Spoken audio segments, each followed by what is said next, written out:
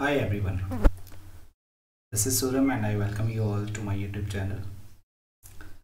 In today's video we are going to solve the numericals that are based on the pulley chapter 3 machines standard ICSE 10th machines numericals based on pulleys. So let's start practice problem 1. The pulley system has a 5 pulleys in all and is 90% efficient. Calculate mechanical advantage, the effort required to lift a load of 100 3000 Newton and the distance due to the movable parts of the machine and the friction. So mechanical advantage since efficiency is having the formula of mechanical advantage over velocity ratio so mechanical advantage is equal to efficiency into velocity ratio 90 over 100 into 5 that is 4.5 load over effort is equal to mechanical advantage or effort is equal to load over mechanical advantage. So it comes to be 2 to 2.29 2 newton sorry. Let x the friction between the movable parts of the machine. So mechanical advantage is equal to velocity ratio minus x over e. Or x is equal to e in, into velocity ratio minus mechanical advantage. Then we have the diagram shows a single fixed pulley system. Mark the direction of the force due to tension. What is the purpose of the fixed pulley? And if T is the tension and the strain, new, tension in Newton, what is the relation between T and E? So first A part tensions. Here are the tensions that is marked here. First tension second and third. A part. It is in upward direction is it? Direction of the tension is in upward direction. What is the purpose of the fixed pulley? If the effort is applied in upward direction it is inconvenient. So with a single fixed pulley the direction of the effort is changed changes downward. So if it is downward then one can use its own weight body weight to lift the load. And it is easier to lift the load upward. C part if T is the tension in newtons what is the relation between T and E? So T is equal to E. T is equal to E. Is it? Tension is equal to effort velocity over distance moved by the effort over distance moved by the load. So that is equal to 2d over d. That is equal to 2 this free. End of the pulley of the effort through move through the distance 2d and load is raised by the distance d. And efficiency is equal to efficiency is equal to 100 percent. Then mechanical advantage over 2 is equal to 100 over 100 mechanical advantage is equal to 2 so if mechanical advantage is equal to load over effort mechanical advantage is equal to 2 load is 100 newton so effort is 50 newton. Then we have the practice problem 2 first part.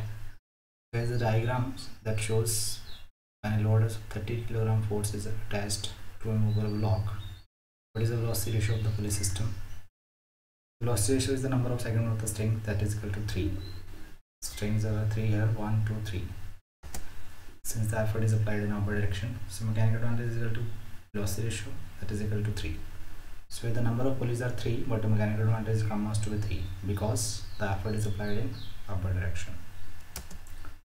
Mechanical advantage is equal to load over effort that is equal to 3 is equal to 30 kilogram force over e e will be 30 over 3 that is 10 Mechan efficiency is equal to mechanical advantage over velocity ratio is given 60 percent.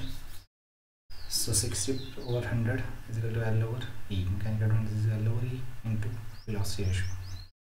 So E will come out to be 16.66 kilogram force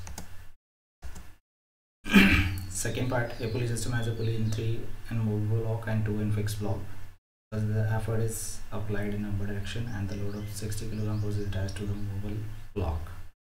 What is the velocity ratio of the pulley system? this is the diagram. This statement is little changed I think in the book. Is it? It is written wrong. So you have to write you have to interchange these 3 and 2 is it? In the book also. What is the velocity ratio of the pulley system velocity ratio is the number of string in the strands that is 1 2 sorry 1 2 3 4 5 6 then is equal to loss ratio that is equal to 6 mechanical advantage is equal to load over effort. Load is given. So effort we can find 10 kilogram force. Efficiency is mechanical equal to velocity ratio. It is given 75 percent efficient so it is simply as we have solved in the previous one calculate the effort effort is 13.33 kilogram force. Then next part. Pulley system with the velocity ratio 4 is used to lift a load of 100 kilogram force through a vertical height of 15 meter. The effort required to do so is 40 kilogram force what is which is applied in the downward direction. Calculate the distance through the which the effort is applied so velocity ratio is equal to distance moved by the effort over distance moved by the load. So 4 is equal to distance moved by the effort over 15 meter. Distance moved by the effort is 60 meter. Work done by the effort is equal to effort into distance of the effort. So 40 kilogram force that is converted into newton. So 40 into 10 newton. Because 1 kilogram force is equal to 10 newton it comes to be 24000 joule mechanical advantage is equal to load over effort. Load and effort is given 2.5 efficiency is equal to mechanical advantage of velocity ratio is equal to 100 percent.